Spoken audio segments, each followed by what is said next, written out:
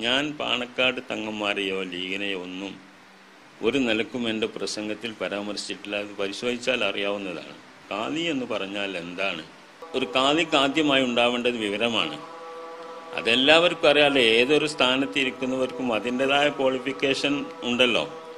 ആ ക്വാളിഫിക്കേഷൻ ഉണ്ടാവണം എന്ന് ഞാൻ പറഞ്ഞിട്ടുള്ളൂ. യോഗ്യതയില്ലാത്ത ചില ആളുകൾ അതിലേക്ക് വന്നു എന്ന് പറയുമ്പോൾ അത് ചില ആളുകൾ ഉദ്ദേശിച്ചാണ് എന്നുള്ളൊരു തെറ്റിദ്ധാരണ പൊതുവിൽ അങ്ങ് പറഞ്ഞിട്ടുണ്ട് അതാണല്ലോ ഒരു പ്ര- പ്രശ്നത്തിന് കാരണം. അതായിരിക്കാം. പക്ഷെ അത് ഞാൻ ഇതിന്റെ വിധി പറയുന്ന സമയത്ത് അത് അതുപോലെ പറയാന്നല്ലാതെ അത് ആർക്കും കൊള്ളുന്നു അല്ലെന്ന ഒരു ഉദ്ദേശം നമുക്കില്ല. ഗാന്ധി ഫൗണ്ടേഷൻ ശരിക്കും ഗാന്ധി ഫൗണ്ടേഷൻ ലീഗാണല്ലോ നേതൃത്വം കൊടുത്താണല്ലോ ഉണ്ടാക്കിയത്. അപ്പോൾ ലീഗാണോ അതിന് പിന്നിൽ എന്നുള്ളതാണോ പറഞ്ഞു വരുന്നത്? ലീഗിനെ പറ്റി ഞാൻ പരാമർശിച്ചില്ല ഒരു കൂട്ടർ അത് ലീഗും ലീഗ് അല്ലാത്തവരൊക്കെ ഉണ്ടോന്ന് എനിക്കറിയില്ല. ഞങ്ങളുടെ ഈ ഒരു ഒരു പ്രസംഗത്തിലെ ചില ഭാഗങ്ങൾ സ്പർദ്ധ ഉണ്ടാക്കുന്നതാണ് എന്നുള്ളതാണ് പി കെ കുഞ്ഞാലിക്കുട്ടി അടക്കമുള്ള നേതാക്കൾ എന്ന് പറഞ്ഞിട്ടുള്ളത്. ആ അതവർക്ക് എന്തെങ്കിലുമൊക്കെ പറയാലോ പറയുന്നതിനും തിരക്കുകളൊന്നുമില്ല എല്ലാത്തിന്റെ പേരിൽ ഇപ്പോൾ എന്നെ സംബന്ധിച്ച് നേരത്തെ അവർ പലതും പ്രചരി പ്രചരിപ്പിച്ചിട്ടുണ്ട്. എന്നെ ഞാനൊരു ഇടതുപക്ഷക്കാരനോ സഖാവോ ഒക്കെ എന്നൊക്കെ പറഞ്ഞ അവർ പ്രതീക്ഷ അവർ പറയാറുണ്ട്. അതൊന്നും ഇപ്പം എനിക്കൊരു ഒരു അത്ഭുതമായി തോന്നുന്നില്ല.